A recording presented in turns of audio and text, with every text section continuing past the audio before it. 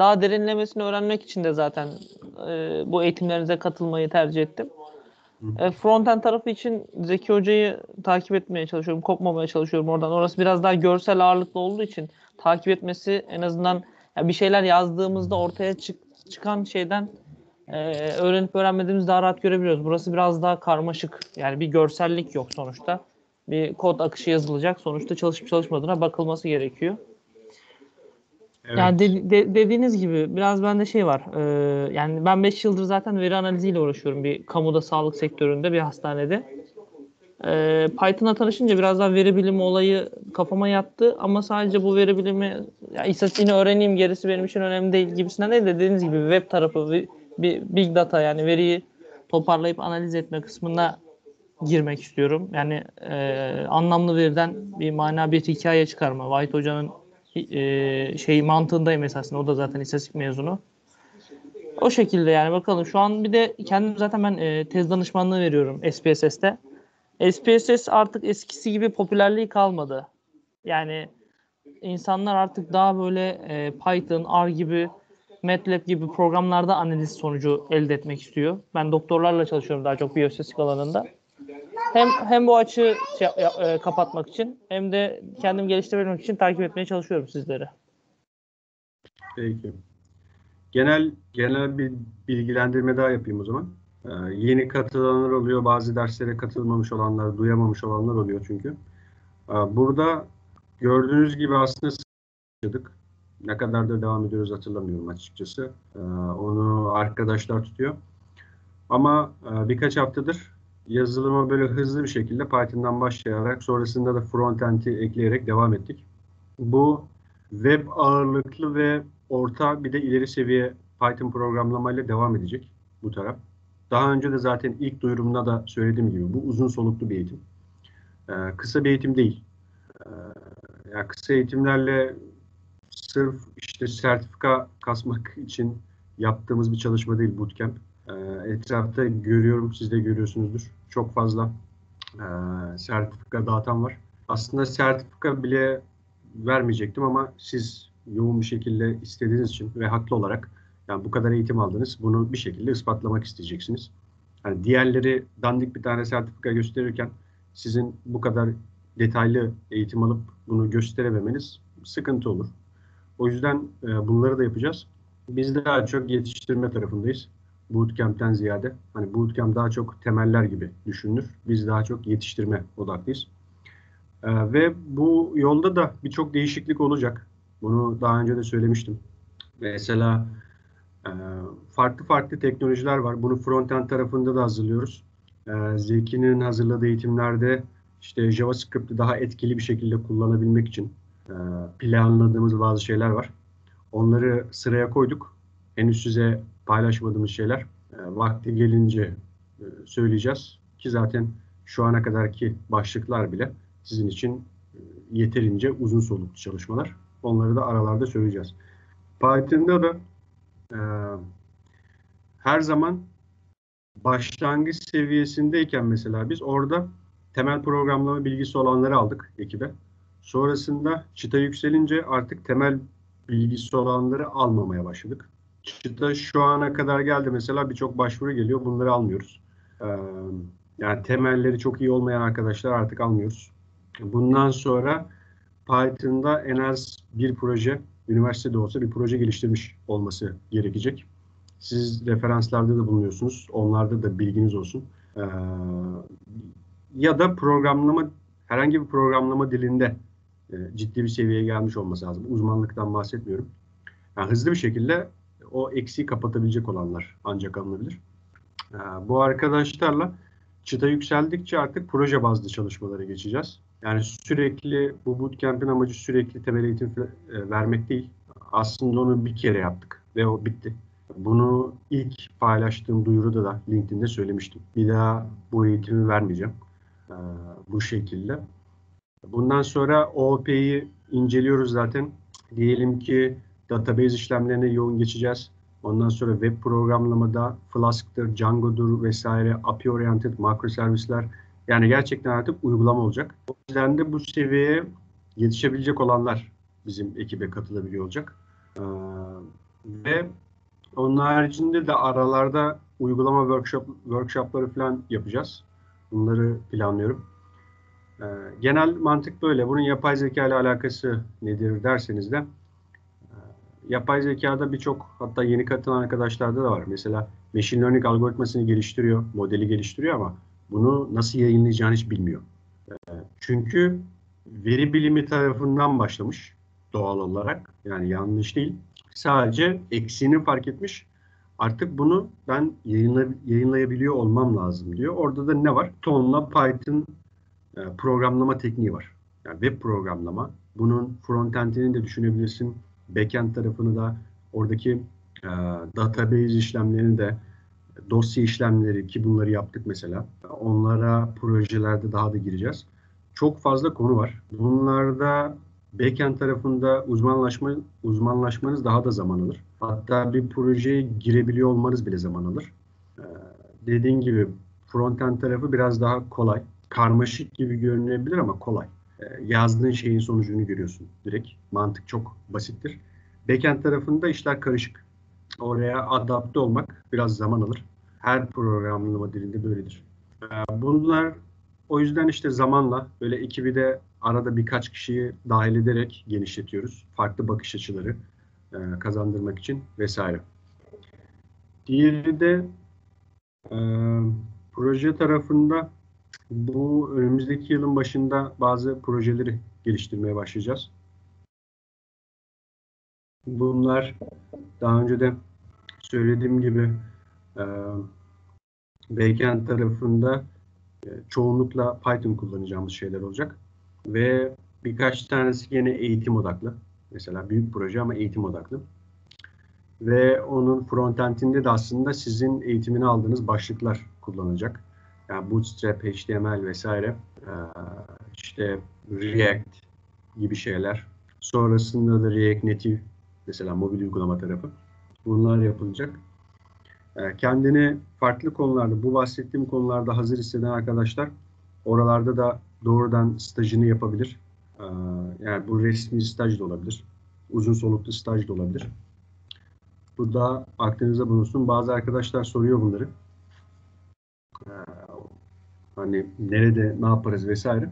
O yüzden o vakti geldiğinde hazır olan hazır olan arkadaşlar bu staj programına da katılabilir.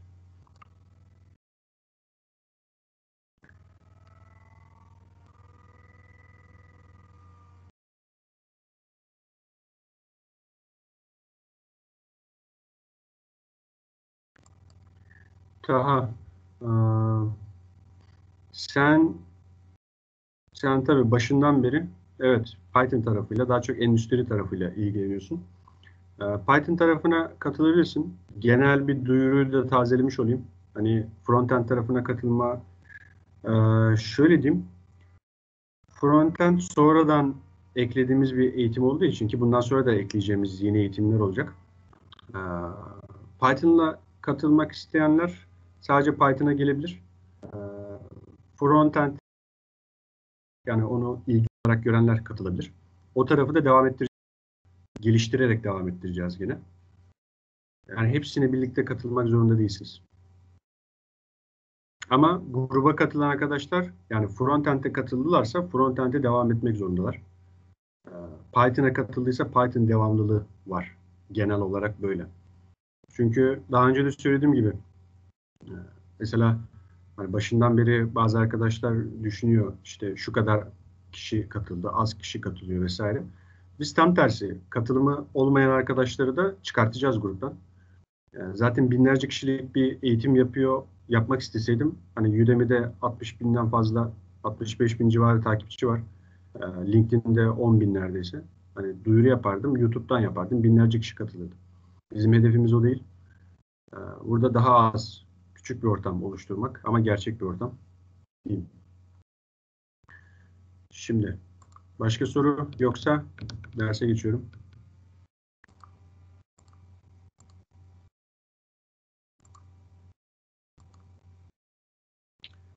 Evet, bugün konumuz klaslar.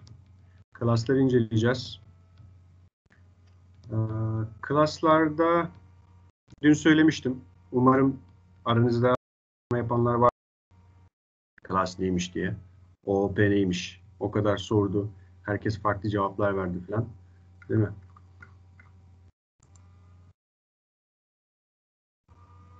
Kayıt başladı.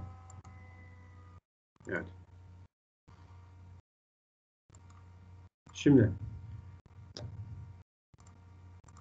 birçok uygulama geliştiriyoruz ve bu uygulamalar içerisinde de yazdığımız kodlar bazen tekrar eden kodlar oluyor.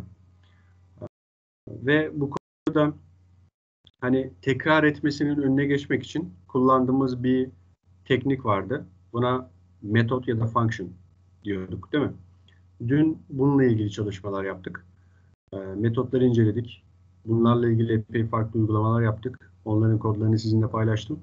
Bu aslında OOP'nin bir alt başlığı değildir. Fakat OOP'de çok gerekli olan bir şeydir. Yani o olmadan OOP olmaz.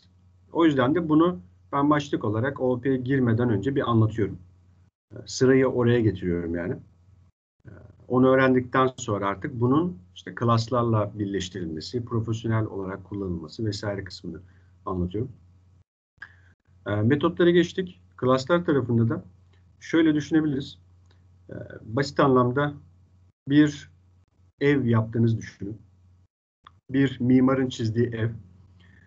Buna inşaattan anlayan inşaat ustası ya da bir tecrübeli bir mimar baktığında onun e, zihninde aslında o evin neye benzeyeceği aşağı yukarı bellidir. Hatta çok tecrübeliyse onu şekil olarak bile çizebilir kendi aklında.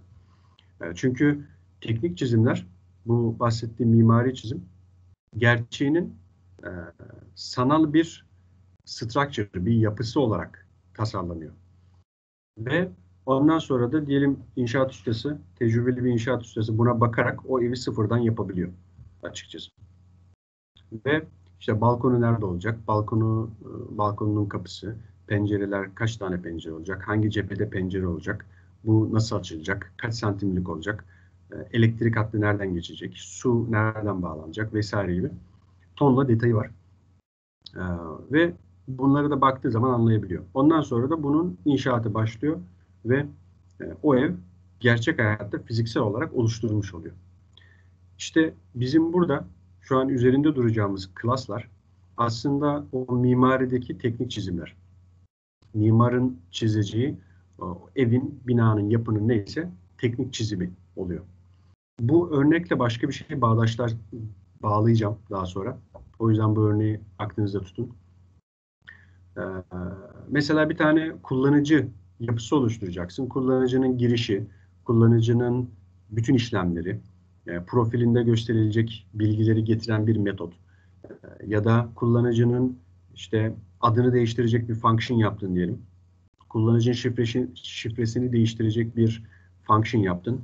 E, kullanıcının e-mail adresini, şifresini gönderiyorsun. O gidiyor database'e bunları güncelliyor. Mesela. Bunun gibi onlarca farklı gereksinim var. Mimari tarafı düşünün. Evin kapısı, kapısının açılması, dışarıya mı açılacak, içeriye mi açılacak kapı e, vesaire vesaire tonla şey var. Evin rengi mesela e, gibi tonla teknik bilgi var. Bu bilgilerin hepsi bizim klasımızın içerisindeki e, bilgiler oluyor. Field'lar gibi düşünebilirsiniz. Metotlar, alanlar vesaire.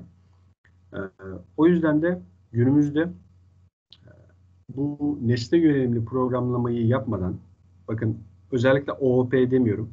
Nesne yönelimli programlama tekniklerinden birçoğunu uygulamadan profesyonel uygulama geliştirmek pek mümkün olmuyor.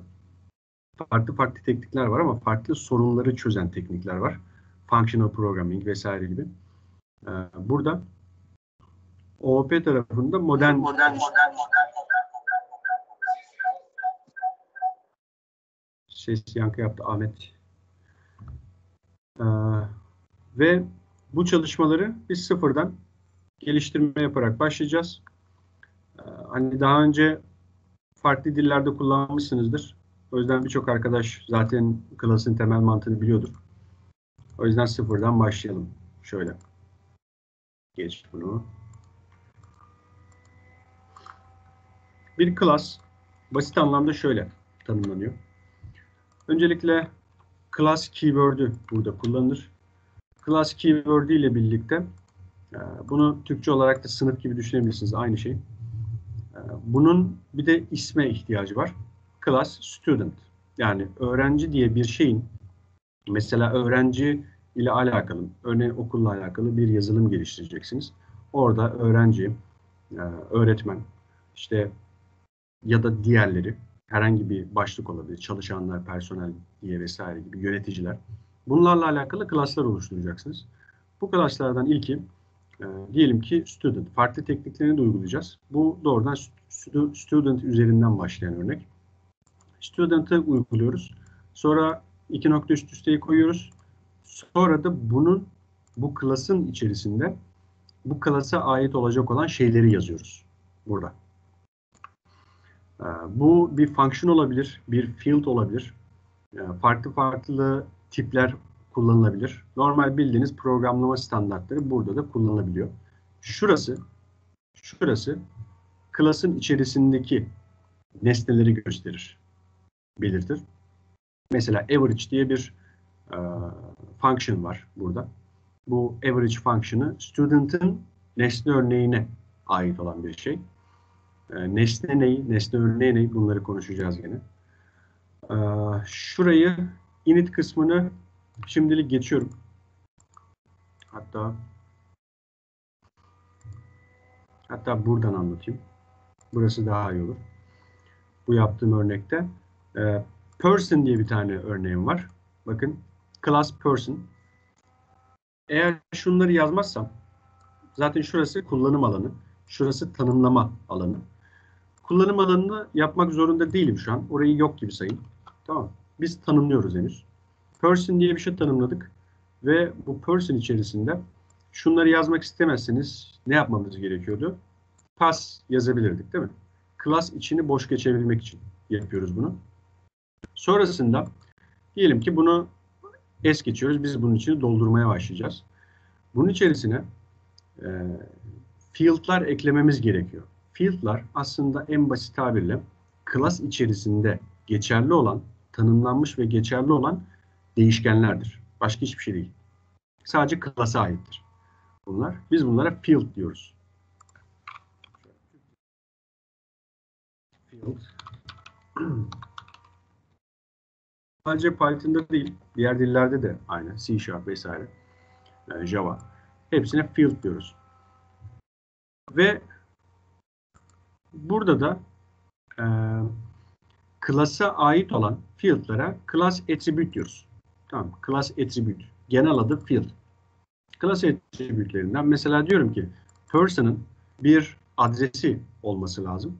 Değil mi? Bu kişinin bir adresi olmalı bu uygulama içerisinde. Ve burada bir başlangıç değeri verilmiş. E, default değer olarak düşünün. Default value. Bunu e, başlangıç değeriyle birlikte oluşturuyoruz. Artık person nesnesi oluşturulduğunda, nesne örneği üretildiğinde bunları konuşacağız. Bunun içerisindeki adres isimli e, nesne de nesne örneği oluşturularak hafızada üretilir. Ve person nesnesinin örneğine atanır. Person bundan önce de şöyle notumu alayım. Object nedir? Object instance nedir? Yani nesne nesne örneği. Bunları ayrıyeten de araştırın arkadaşlar. İlk başta e, kafanızda yer etmemesi mümkün.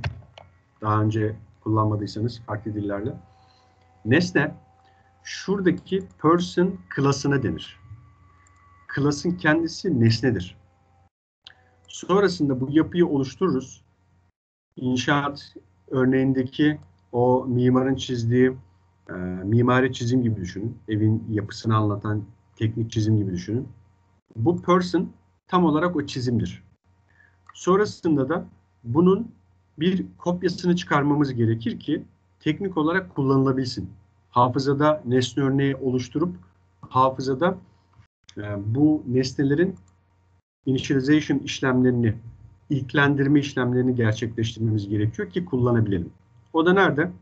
Şunlara aşina olduğunuz için çok üzerinde durmayacağım. şunları anlatacağım sadece. Bu person nesnenin kendisi. Bunun nesne örneğinin kopyasına da biz şöyle ulaşıyoruz. Bakın bildiğimiz e, P1 diye bir tane değişken tanımlıyoruz mesela. Eşittir person diyorum. Ve parantezler içerisinde de bazı parametreler gönderiyorum. Bunların ne olduğunu da daha sonra konuşacağız, kullanacağız, alışacaksınız. Ama şuradaki P1 ve P2 nesne örneğidir. Object instance denir. Obje ise bunun kendisidir. Ne demek oluyor bu? Obje ile yani object ile object instance bu e, şöyle düşünün. Bir teknik çizimi yapılmış e, evin aslında çizimi tektir. Değil mi? Bütün kuralları tektir. Ama siz bundan istediğiniz kadar türetebilirsiniz. Yani gerçek hayatta onun fiziksel olarak kopyası olan mesela bir villa tasarımı diyelim. Villanın teknik çizimi yapıldı. Mimar bir kere yaptı. Ondan sonra siz bunu alıp istediğiniz kadar aynı çizime sahip yüzlerce, binlerce, on binlerce farklı e, villa aynı standartlarda, aynı yapıda oluşturabilirsiniz. İşte buradaki obje o teknik çizim, obje instance ise bunun gerçek hayatta oluşturulmuş, nesne örneği oluşturulmuş olan villalar gibi düşünün. Yani bir tane obje olur, siz hangi alanda yapıyorsanız onun kopyası sınırsız olabilir. Ve burada da temel tanımı yaptık. Ondan sonra diyorum ki işte P1, P2 diye iki tane nesne örneği üret. Neden böyle bir şeye ihtiyacım var? Şimdi veri tabanından kayıt aldığımı düşünün. Person'ların e, benim veri tabanımdaki persons tablosunda 10.000 tane person'ın e, bilgisi var. Hepsinin içerisinde name ve year bilgileri var. Bunların hepsini ben uygulamanın içerisine alıp yani uygulamanın bizim bilgisayarımızın hafızasını almaktan bahsediyorum. Uygulamayı çalıştırdığında çünkü e, veriyi çekeceksin herhangi bir veri kaynağından. Onları bir liste şeklinde tutacaksın. Bildiğimiz sizin öğrendiğiniz listeler. Bu listeleri tutarken bir şekilde o verinin belli bir yapıya sahip olması lazım. Değil mi? Yapıya sahip olması gerekiyor ki siz örneğin Ali Veli'nin e, person sınıfını alıp onun üzerinden name bilgisini, year bilgisini gibi istediğiniz kadar bilgiyi alabilin. Ona özel işlem yapabilin. Ya da Ali Veli bu Ali Veli, Ali Veli için bu işlemi yaparken işte Ayşe Fatma için de farklı bir nesne örneği üzerinden onun ad bilgisine, yıl bilgisine falan ulaşabilin. İşte bunun gibi 10 bin tane kaydı sen uygulamanın hafızasını aldın da e, bunları bir şekilde yönetebiliyor olman lazım ve bunlar bilgisayarın hafızasında e, sistematik olarak bir değişken gibi tutulması lazım veri olarak değil mi? İşte bu işlemler için de bizim nesne örneğine ihtiyacımız var burada. Nesne onun yapısını belirler. Nesne örneği ise her bir veri için e, bilgi tutma amacıyla kullanılır.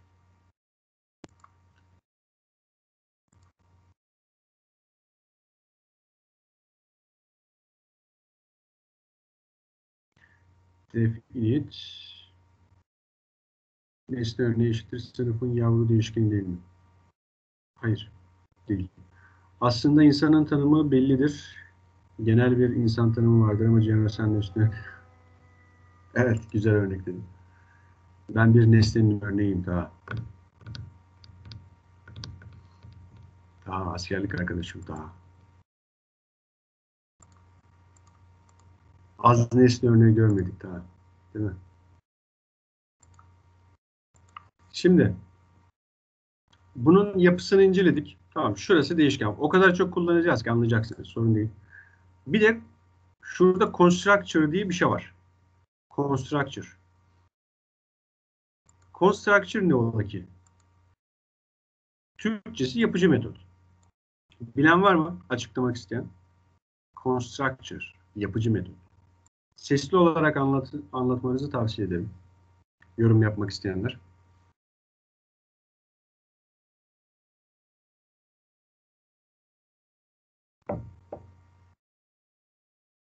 Hadi.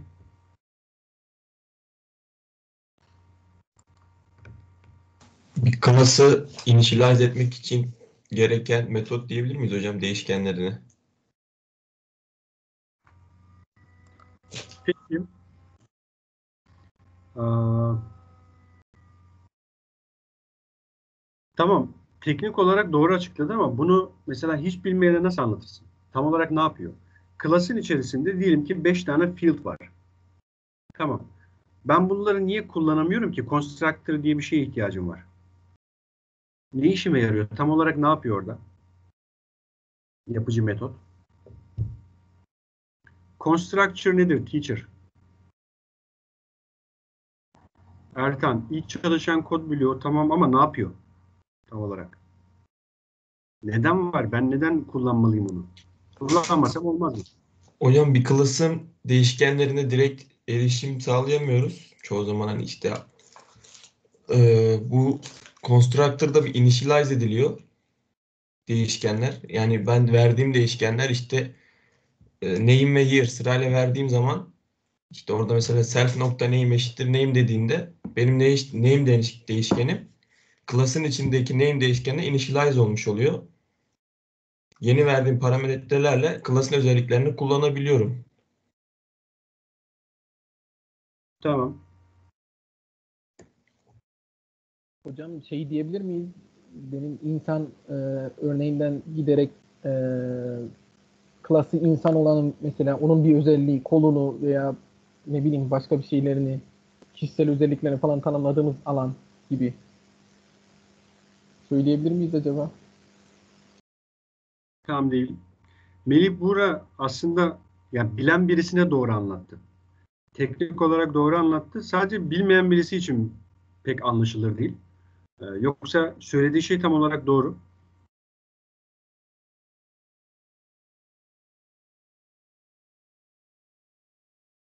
Şöyle söyleyeyim.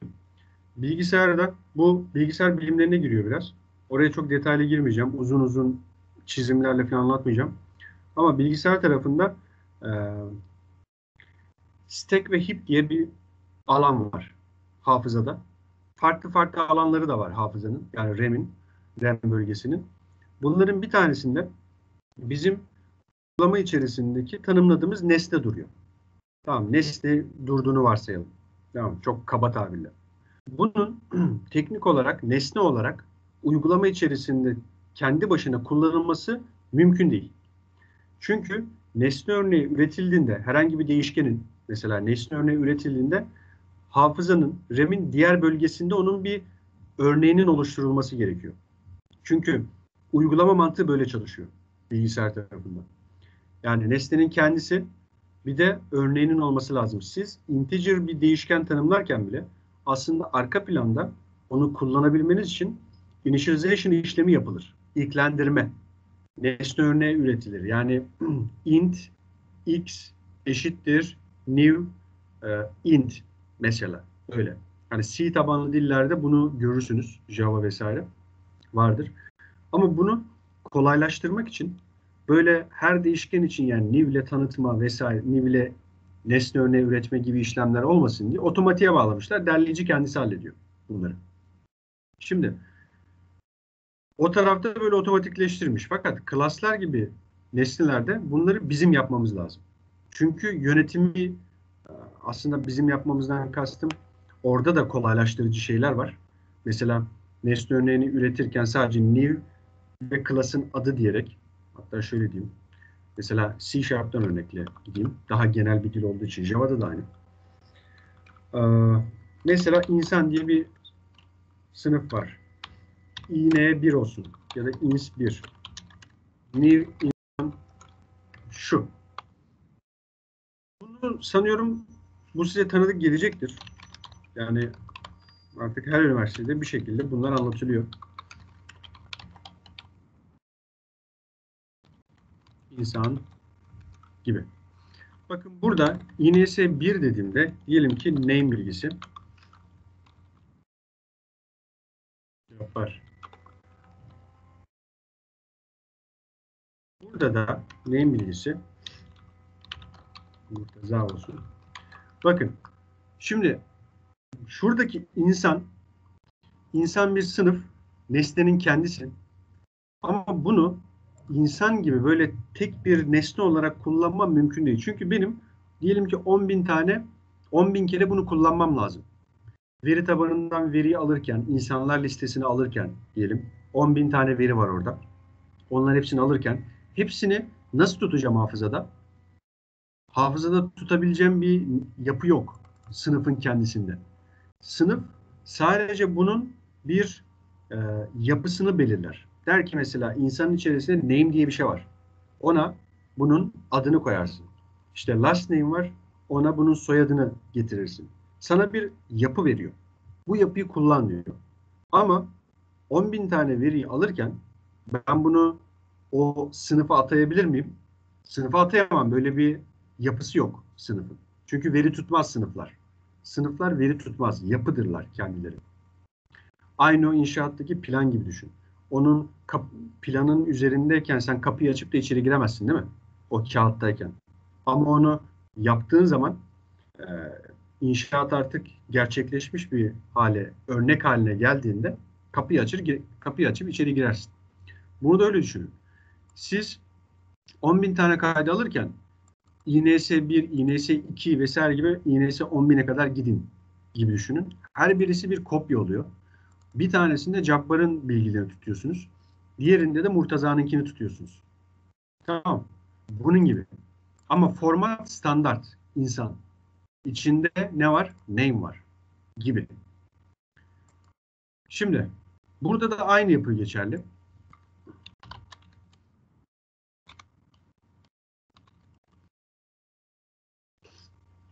Ve gene C Sharp tarafından örnek vereyim. Daha genel bir dil olduğu için. Şuradaki dikkat edin mesela insanın parantez aç kapa gibi bir alanı var burada. Nesne örneği üretirken mesela burada C Sharp ya da Java gibi dillerde nesne örneği böyle üretiliyor. New ile. Ve sonrasında da bunun adını veriyoruz ve şurada parantez aç kapa var. Bu aslında C tabanlı dillerde constructor constructor'ı çağırır. Default constructor olarak geçer aslında. Neden vardır? Normalde new dediğinde senin yapmak istediğin bellidir. Bu nesnenin örneğini oluşturup onun hafızada alanlarını oluşturmak istiyorsundur değil mi? Ne demek istiyorum? Şimdi name şurada bir string alıyor. Peki ins1 diyorum, id diyorum. Mesela şu olsun. Bu da bir e, integer değil mi? Başka bir şey koyarsın buraya.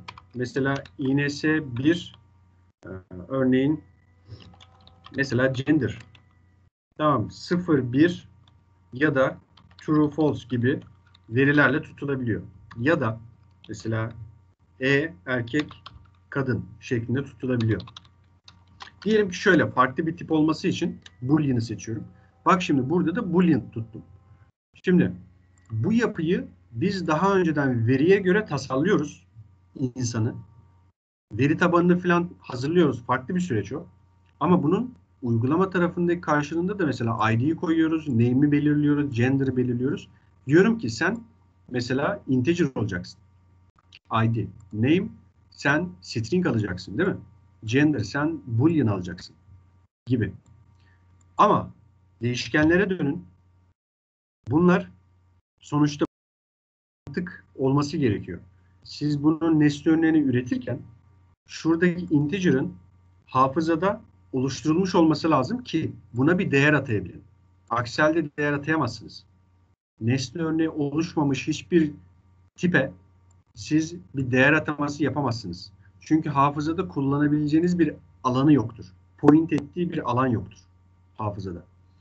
Mesela burada sen bunu oluşturduğun zaman bu integer'e göre integer'ın kapasitesine göre hafızada bir yer oluşturuyor ve sen onu kullanıyorsun. Şurada ise string'in kapasitesine göre kullanıyorsun. Tamam. String'in kapasitesi. Burada mesela empty olur. içi boş bir değer olur default olarak diyelim. Şurada ise sen bunu oluşturduğunda yani insanın INS1 nesne örneğini oluşturduğunda bunun e, şuradaki insanın içinde şu field'lar var ya bunlarla birlikte hepsi oluşturulur. Hafızada yerleri üretilir. Sen bunu INS1 eşittir new insan dediğinde şunlara hafızada alanlar oluşturup default, default değerler atanır. Default değer ID'de mesela integer olduğu için sıfırdır. Gender'da e, Boolean'ın default değeri false'tur mesela. Name'de boşluktur gibi düşünebilirsiniz.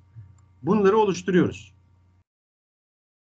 Şunlar yani INS1 özetle bizim nesne örneğimiz. Şurada kalsın. İnsan da objenin kendisi. Bu zamanla oturacak sizde de. Çok üzerinde durmayacağım. İşte şuradaki nesne örneğinin üretilmesi olayı Python'da ve bütün dillerde de constructor ile yapılır. Sen person'ı eşittir new person dediğinde bilgisayar tarafında derleci diyor ki tamam diyor burada bir nesne örneği üretilecekmiş. Üretilmesi gerekiyormuş. Bakayım diyor bunun constructor'ı var mı? Yapıcı metodu. Eğer yoksa default olarak derleyici bunun kendi constructor'ını oluşturur. Kendi yapısı, yapıcı metodunu kullanır. Default yapıcı metot siz görmezsiniz. Arka tarafta kendisi yapar bunu. Default yapıcı metot e, içerisinde hiçbir ekstra işlem yapılmaz. Sadece şuradaki field'ların e, nesne örnekleri üretilir ve onlara default değerleri atanır.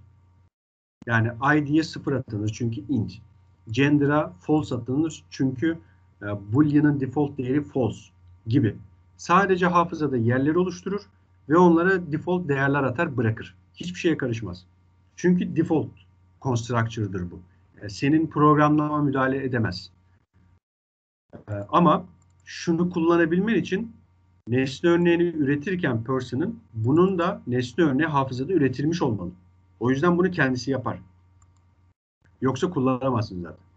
Ama sen eğer person'ın constructor'ına erişip kendin bir constructor yapıp e, default yani derleyici tarafından yönetilen default constructor'ı ezmek istiyorsan biz ezmek diyoruz overloading ezmek istiyorsan o zaman initialization'ı kullanman lazım. Bu Python içerisinde olan bir function'dır. Özel bir function diye geçer. Şöyle başında ve sonunda iki tane alt çizgi olan şeyler e, function'lar özel function'lardır Python'da. Ve bunları siz yazmazsınız. Aslında vardır. Siz onları ezmek için kullanırsınız. Yani sen şunu yazmasan bile şuraya. Ha, Python şöyle yapıyor sana. Diyor ki bak diyor ben initialization işlemini yapıyorum diyor kendim. Ama diyor sen bunu ezmek istiyorsan üzerine kendi talimatlarını geçirmek istiyorsan o constructor işleminde nesne person'ın nesne örneği üretilirken her bir nesne örneği üretilirken ben diyor şurayı senin için çalıştırırım. Bunun için de init'i kullan diyor. Ama alt tire alt tire ile başlayan ve biten. Çünkü bu özel function. Diyor ki ben bunu alacağım diyor. Eğer böyle bir şey tanımladıysan gideceğim bunun her bir nesne örneğinin üretilmesinde INS1, INS2 gibi her bir üretilirken ben bunları senin için yapacağım diyor. Bunu yaparsan da artık Python'ın ya da diğer dillerde kendi e, oluşturduğu oluşturduğu default constructor yok edilir. O kullanılmaz artık. Default'ta ne yapıyordu? Sadece nesne örneklerini üretiyordu. Ama sen müdahale edince diyor ki artık tamam diyor ben kendim e, yapıyordum ama sen müdahale ettin demek ki bir bildiğin var. Orada bir talimat vereceksin. Yani name'e mesela e, default constructor şu year'ı e, year bilgisini üretirken diyelim ki integer tuttum bunu. Buna sıfır değerini verecekti. Ama sen dedin ki her nesne örneği üretilirken ben her bir nesne örneğinin içindeki yıl bilgisine 2000 değerini vermek istiyorum. Yani 2000'den önceki zaten benim için önemli değil. Kullanmıyorum. Mantıklı değil. Ve sıfır yazma diyebilirsin buna. 2000 yaz. O zaman artık her bir nesne önünde otomatik olarak 2000 yazılır. Kullanacağız sorun yok.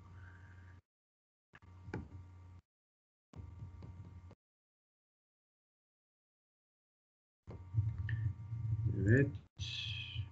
Hocam bir şey sorabilir miyim? Evet. İkinci soruyu alayım. İlkini sordum. Ee, yani diyelim e, herhangi bir atama yapılmadığında diyelim ben bir e, nesne örneği oluşturdum. İşte name'ine Rümeysa dedim. E, yılına da hiçbir şey atamadım. O zaman default değer olarak mı kalıyor hafızada?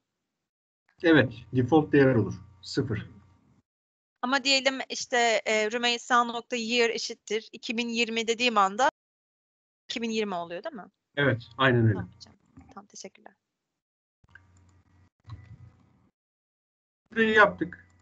Bakın şunlara henüz girmedim. Self nedir vesaire konuşacağız. Biraz örnek yapalım diye devam ediyorum. Şuradaki parametreler falan bunları konuşacağız. Sonrasında e, kullanım kısmında mesela person person'ın nesne örneğini üretmek istiyorum ben. Geldim burada. Object instance. İki tane nesne yapacağım dedim. P1 ile P2. Dışarıdan da bunlara bildiğiniz function'daki parametre göndermekle aynı. Ali ve yıl bilgisi. Yağmur ve yıl bilgisi gibi. Bunların değerlerini veriyorum. Artık ben şuraya gelip P2 P2 nokta ee, zaten nokta deyince bakın çıkıyor. Şu işaret neydi? Function. Bakın bu işarette field demek. Field bilgisi. Burada name, adres, yıl bunlar hepsi görünüyor. Şurada gelip ben bunu alabilirim. Öyle dediğimde artık şu yağmur bilgisine ulaşmış olurum. Yağmur değil. Yıl bilgisi yağmur olmaz. 1995 şuna ulaşmış olacak gibi. Sonra istersem değiştirebilirim.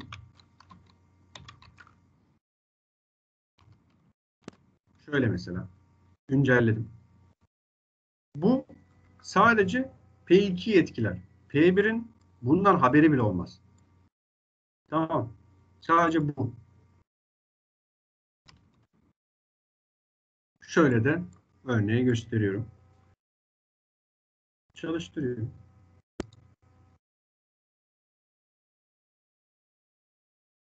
Hocam bir de bir şey daha sormak istiyorum izninizle. Hı. E, kaçırdığımı bilmiyorum ama bu şimdi e, biz e, constructor'ın içinde e, tanımlamaları yaptık, initialize ettik ama e, peki neden adres e, constructor'ın dışında? Yani orada default değer verdik no information diye. Kaçırdım mı orayı bilmiyorum ama neden e, def init'in içerisinde değil? İstersen kendin bilinçli olarak bir attribute gibi field'ları tanımlayabiliyorsun burada Python'da. Ama mesela dikkat et ben burada name diye bir şey tanımlamadım.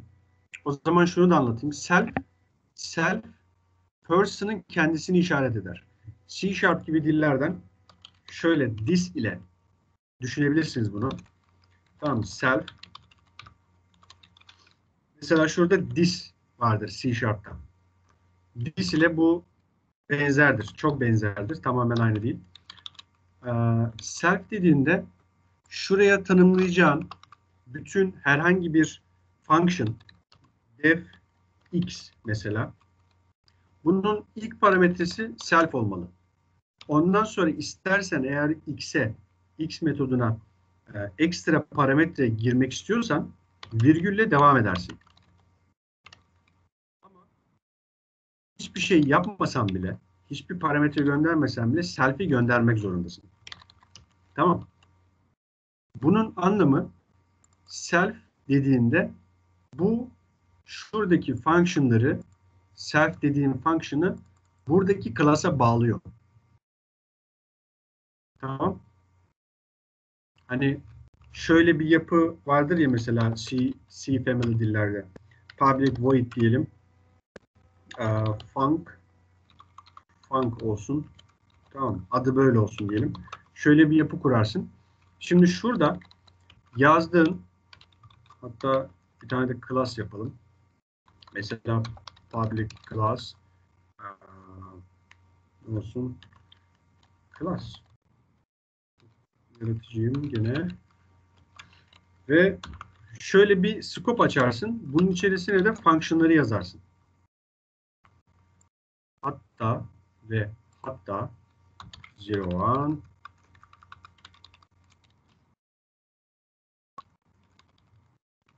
02 bak şimdi. Buradaki public class şu da class'ın adı. Önemli. Bunun içerisinde bir hiyerarşi var. Tamam parantezler. Şurada C family dillerde şunu ekstra olarak tanıtmana falan gerek yok. Yani sen klasa aitsin demene gerek yok. Zaten bu scope'un içerisinde. Ama burada işler biraz karışabilir. Python içerisinde. Tamam. O yüzden özellikle bunları self olarak belirtiyorsun. Bunları belirttiğin zaman da her birisi kendisini bir klasın, e, bir person klasının parçası olarak görüyor gibi düşün. En basit anlamda böyle diyebilirim. Ondan sonra da bunun person'ın nesne örneği üzerinden biz bunlara artık erişebiliyor oluyoruz gibi. Şimdi hocam bir şey sormak istiyorum. Bu e, mesela int, e, int'in içerisinde parametreler tanıttık. E, name ve year. Şimdi bunları da sonuçta default olarak herhangi bir yani int olduğunu ya da bir şey olduğunu e, belirtmiyoruz orada Python'da. Ha. Mesela C family dillerde int'se int, işte e, string'se string gibi parametreler belirtiyoruz. Şimdi yazılımcı burada e, birden fazla kişi ekip olarak çalışacağız. Şimdi year'a e, tuttuk int olarak belirttik ama adam e, yazı olarak 2000 2000 olarak girdi. Şimdi burada e, yazılımda nasıl belirtebiliriz bunları?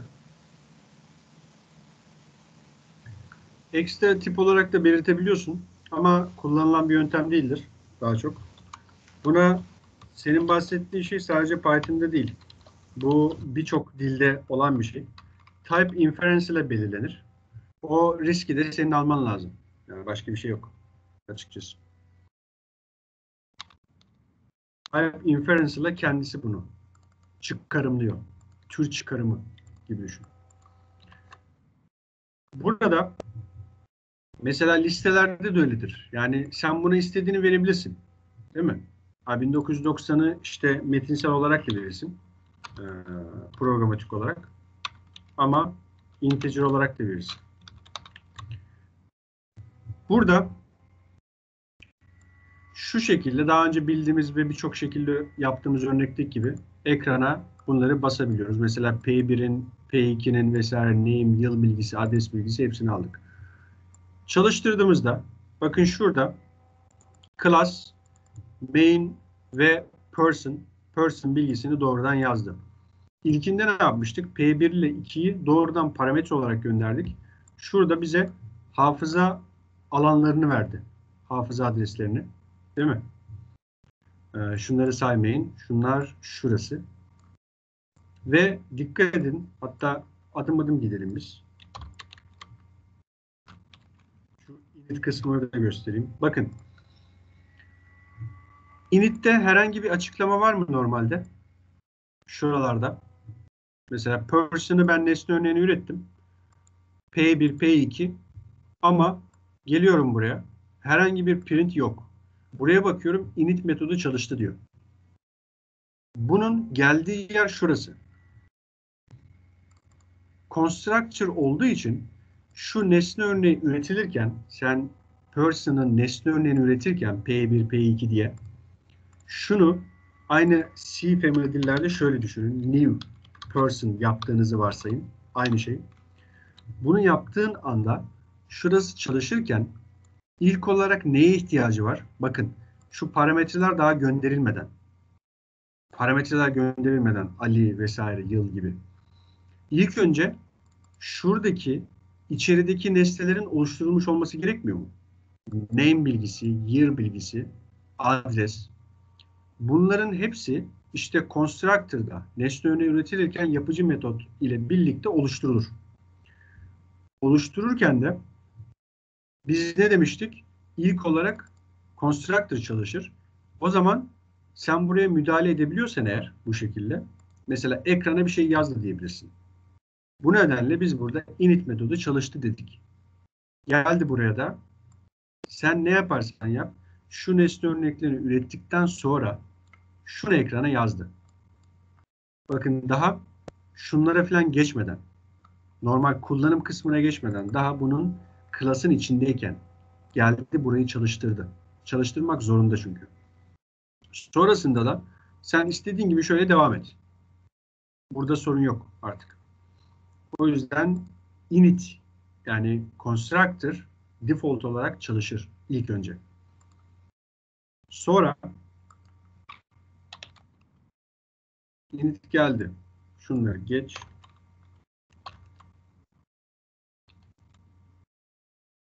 Burayı biliyorsunuz. Basit. Burada da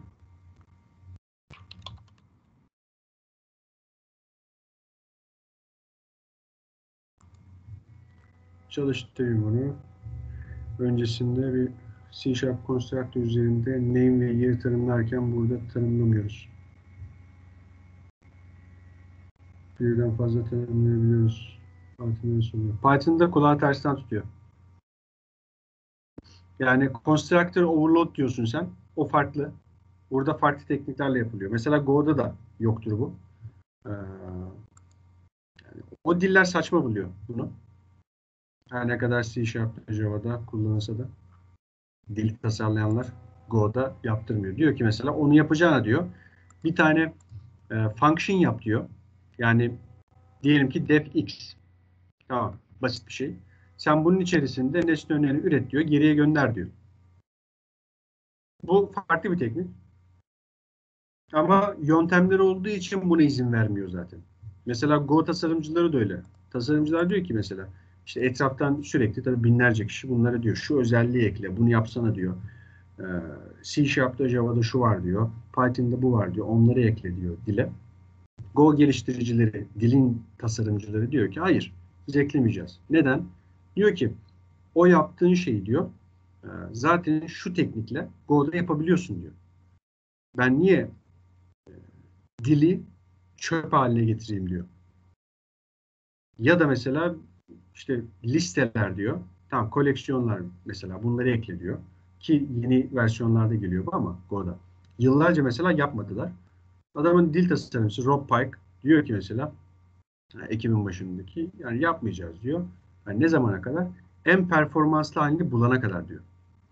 Ee, gibi. İşte Constructor'da da aynı. Overload'da da, metot overload'da da aynı. Adam yaptırmıyor. Diyor ki zaten şu yöntemle yapabiliyorsun diyor. Ben sana niye o özelliği vereyim ki diyor. Dili karmaşıklaştırayım. Bizim amacımız diyor en yüksek performanslı, en sade dili yapmak diyor mesela. Gibi. Mesela. İşte public ve private olayı C family dillerde var. Go'da yok mesela. Yani niye yapmıyorsun diyor. Diyor ki zaten bir sınıfın ya yani orada struct class olarak geçiyor. Ee, orada struct'ın içerisinde diyor sen e, bir function'ın function'la metot da ayrıdır. Farklı şeylerdir Go'da. Ama bir gibi düşünün şimdi örnekte. E, diyelim ki metodun baş harfini büyük yaparsan diyor ben onu derleyici tarafında e, public gibi algılıyorum ve dışarıya açık yapıyorum diyor. Ama diyor küçük harfle başlatırsan diyor diyelim ki get username küçük harfle başlıyor. O zaman diyor bu dışarıya kapalı olur. Private'dır default. Bu kadar basit diyor. Gibi. Yani her dilin farklı yoğurt yiyişi var. Diyelim. Şimdi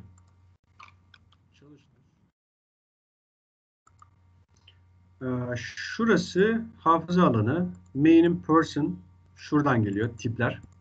Tamam tipini aldık ve bunların eşitliğine bakıyorsun. Hani mesela akla geliyor ya ya P1 de person, P2 de person.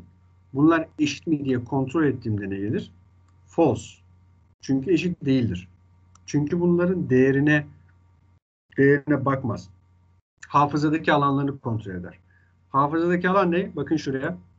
Farklı alandalar. Ee, E48, P08 gibi düşünün. Bunlar tamamen birbirinden farklı nesne olduğu için, nesne örneği olduğu için bunlar ortak bir nesnenin örneği bile olsa birbirinden farklıdır. Çünkü hafızada farklı alanları işaret ediyorlardır, point ediyorlardır gibi. Geç.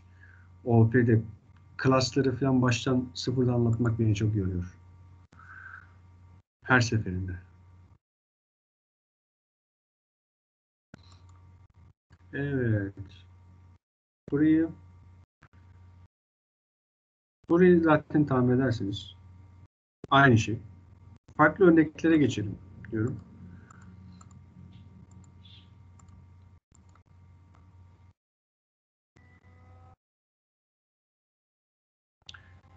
Şimdi